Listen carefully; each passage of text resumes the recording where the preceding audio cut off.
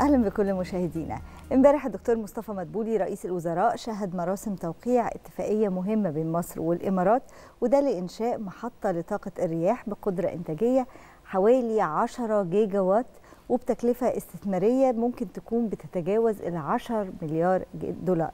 المشروع ده لما يكتمل هيكون أكبر محطات طاقة الرياح في العالم أجمع يمكن يمنا هو مشروع مهم مشروع بيؤكد إن مصر اخذت أو خطت خطوات جادة في مجال تحديدا التحول تجاه الطاقة الجديدة والمتجددة وده هيكون ليه انعكاس. انعكاسه هيكون إيجابي في الحفاظ على البيئة ومواجهة التغيرات المناخية. إيه أهمية هذه المحطة ومدى قدرة مصر على إنشاء هذه المحطة؟ هو ده اللي إحنا هنعرفه من ضيفنا الدكتور ماجد كرم الدين محمود المدير الفني للمركز الإقليمي للطاقة الجديدة والمتجددة. صباح الخير يا دكتور. صباح الخير.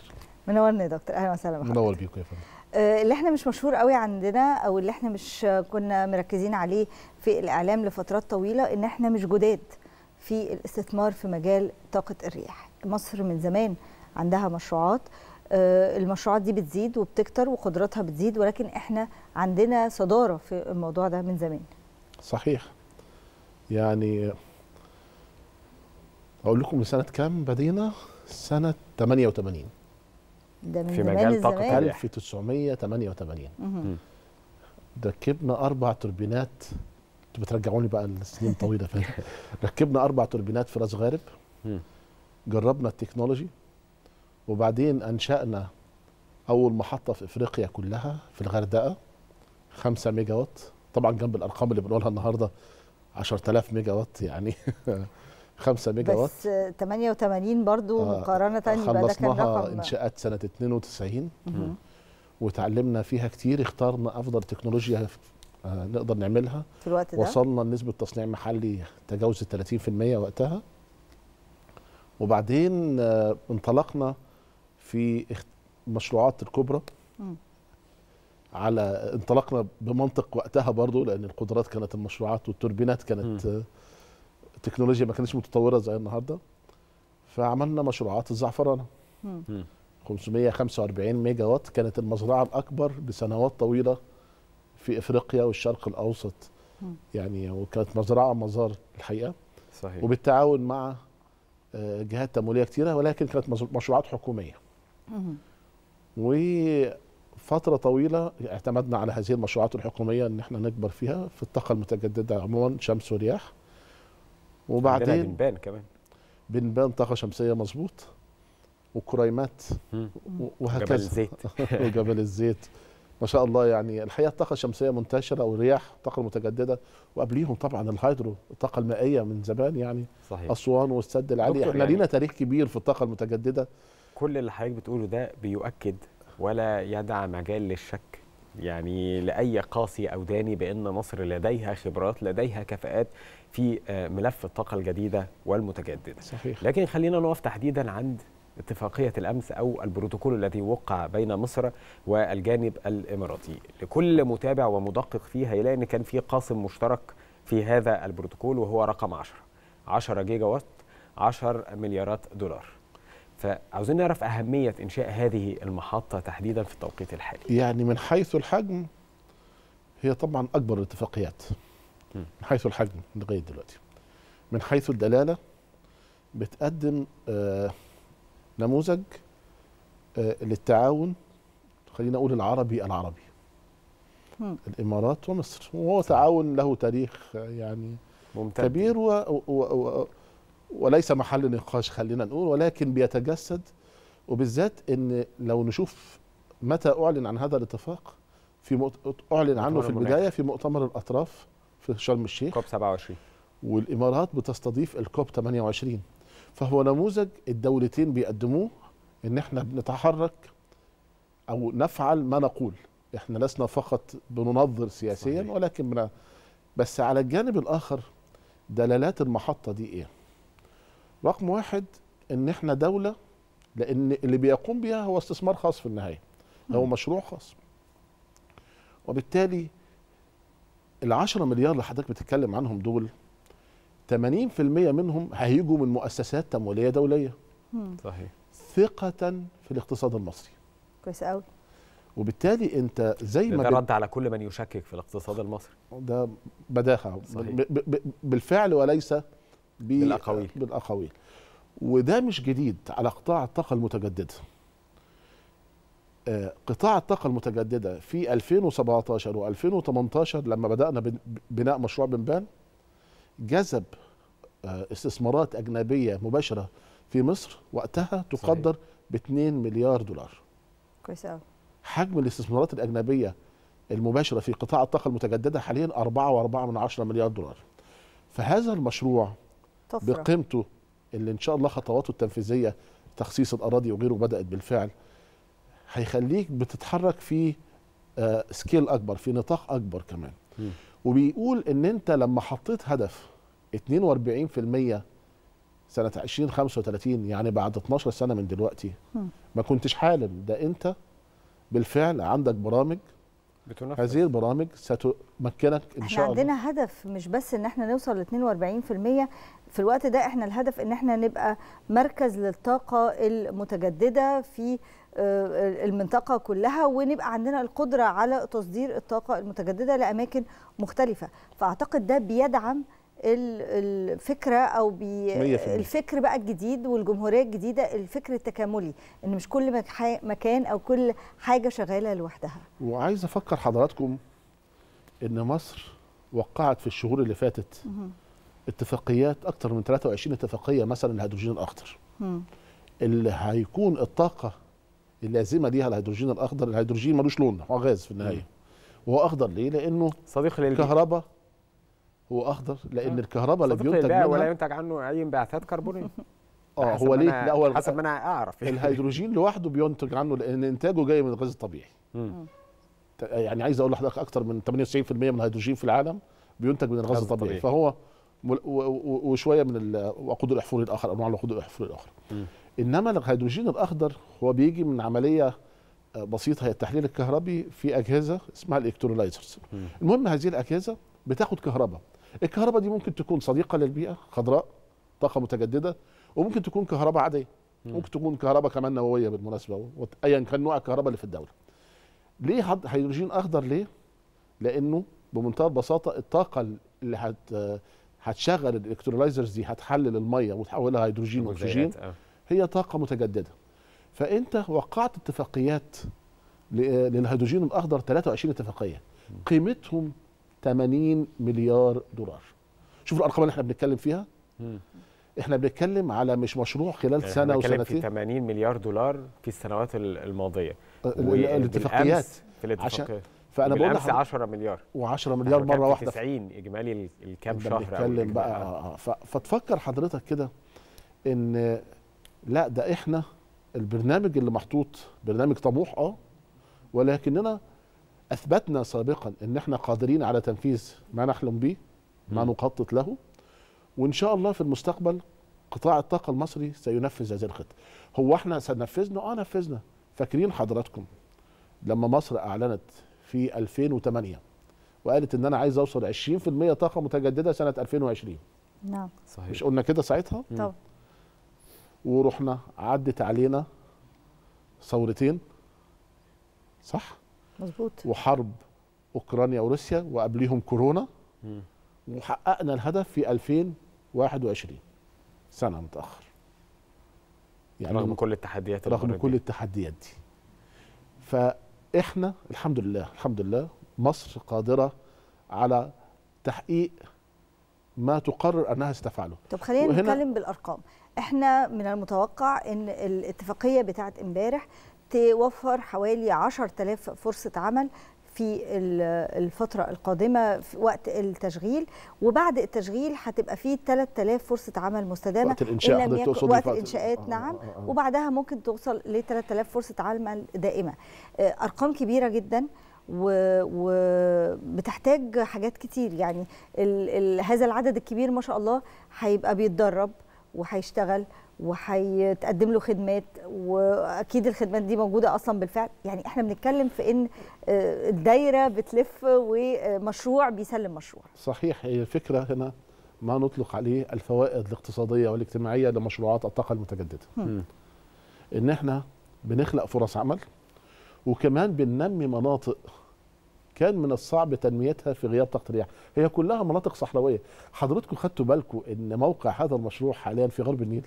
نعم. نقلنا من ساحل البحر الأحمر. نعم. صحيح. بعد ما. طورناه أقول لكم حاجة أنا من الناس اللي اشتغلت في التسعينات في المحطات آه، آه، في مصر في اللي ركبنا المحطات بإيدينا الحمد لله وقتها. كانت أوائل المحطات في مصر. أقول لكم إن المنطقة بتاعت الزعفرانة اللي كان فيها المحطات دي كان فيها ألغام من الحرب ما بيننا وبين إسرائيل. وإن حصل تعاون مع الجيش المصري لتطهيرها من الألغام.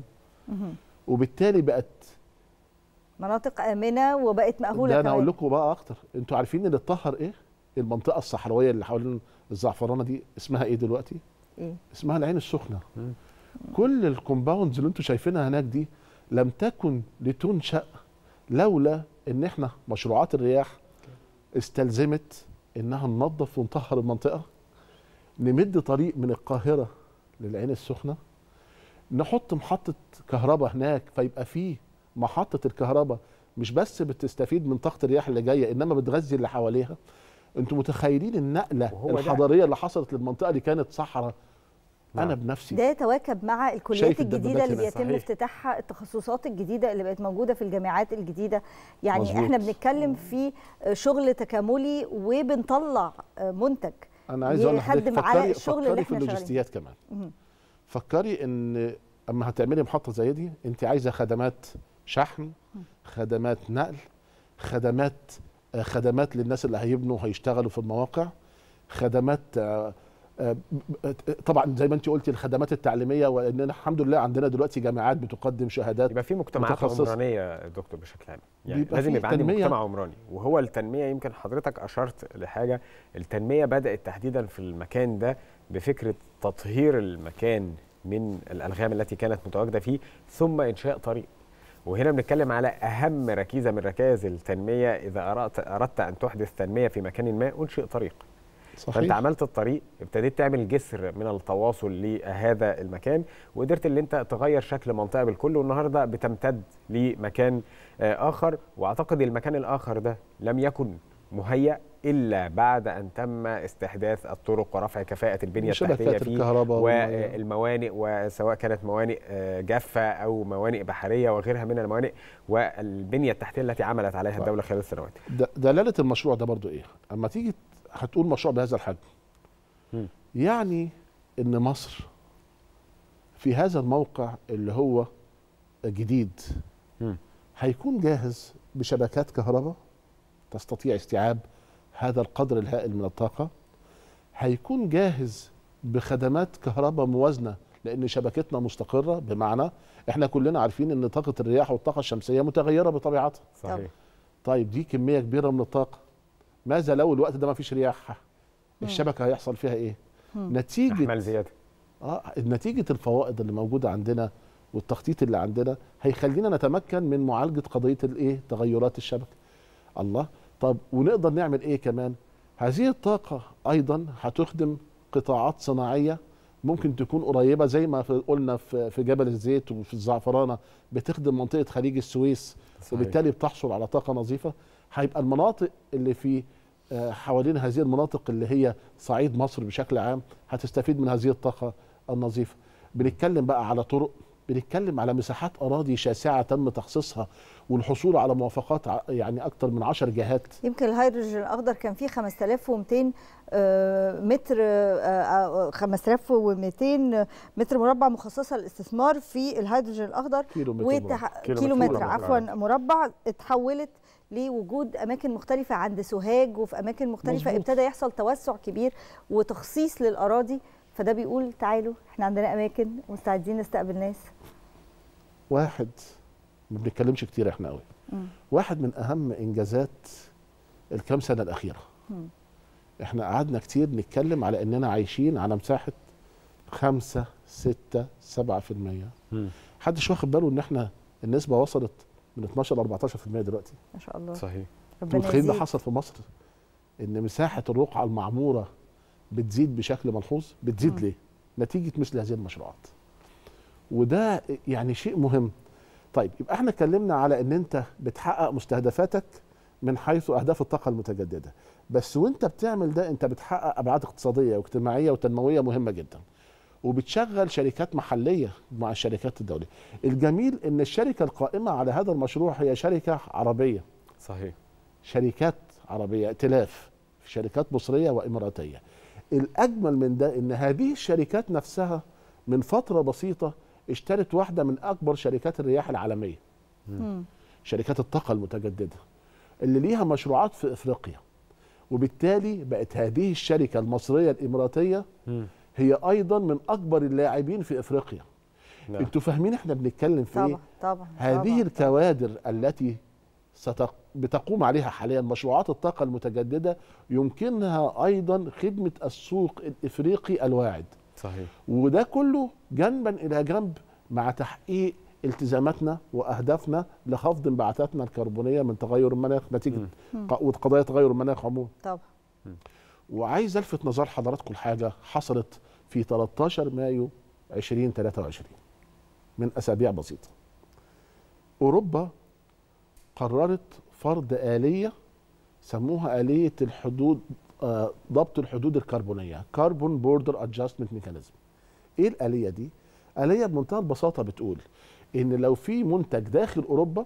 يعني بيصدر من خارج أوروبا إلى داخلها لو جاي من مصنع أو من دولة بصمتهم الكربونية عالية يعني من مكان ملوث نعم. للبيئة هيتفرض عليه ضرائب قاسية هتخليه تنافسيته تقل جوه الاتحاد الأوروبي. طيب لما إحنا بنخدر منظومة طاقتنا. يعني نخليها منخفضة الانبعاثات. الانبعاثات. معنى كده إيه؟ إن أنا بحسن تنافسيتي طبعا. للتصدير للأسواق الأوروبية اللي هي شريك تجاري مهم جدا نشتغل على لمصر. قدام. في اتفاقية إن 2050 يكون نوصل لصفر انبعاثات كربونية. أو يعني ال ال عدد من الدول حاطط أهداف بتاع 2050 و2060 وهكذا. إحنا بنقول هو الحقيقة فكرة صفر كربون هي مش صفر مطلق إحنا بنسميه الصفر الصافي. يعني إيه؟ يعني إحنا عندنا انبعاثات هتطلع من بعض القطاعات لأن كده كده في تنمية. بس في قطاعات أخرى زي الطاقة المتجددة هتخفض الانبعاثات لأنها هتوفر مش هتطلع انبعاثات وهي بتشتغل.